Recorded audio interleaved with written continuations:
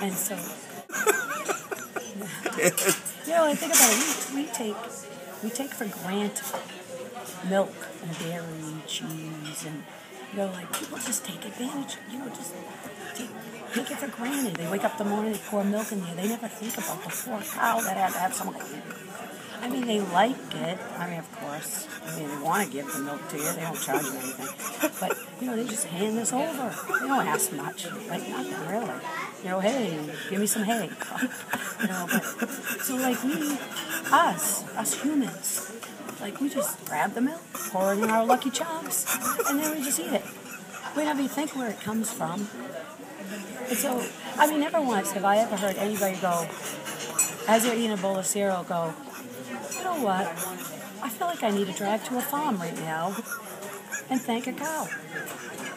You just drive right by the farms. You don't really want to know who they who the milk came from. Or what was her name? Bessie. You know, Bessie's in a farm right now and probably going through the pasture going, I wonder who's drinking my milk today. You know, like Geez, I wonder if they enjoyed that. It's not like I got a card or, or a letter or anything. I, my birthday rolls around, I don't even get a birthday card, you know.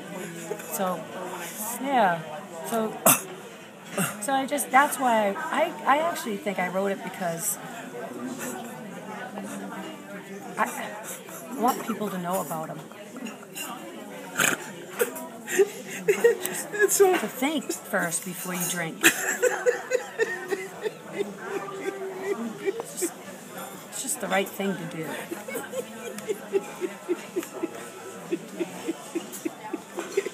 Think before you drink Yeah, milk. think before you drink. If you take any advice in your life, um, you think before you drink.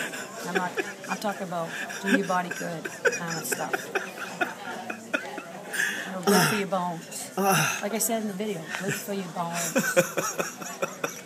So, I so, but she does. You're right. I mean, the, the part with when you're talking, what does she put a strap under these things or something? Or? Yeah, like, oh, that's all. That's all. I mean, think about it. They're like double Z's. Pretty big. It's not like she can shop at like Victoria's Secret and get like a real classy bra or something. But in the rap tune, it's like, I don't care. Let them go free. You know?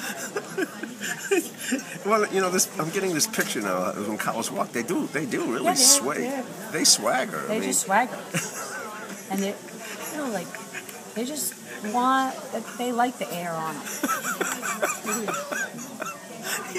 yeah. Oh my God. Oh, that's uh, that's that's great. Well, uh, so so now when you do this on stage, you'll have to get into that mad. Well, she's kind of like a mad cow. Yeah, but she doesn't want people to know that she's a mad cow because she would be put down. know, they don't, people don't like the mad cow. So I didn't want to go that way. She's a cool cow.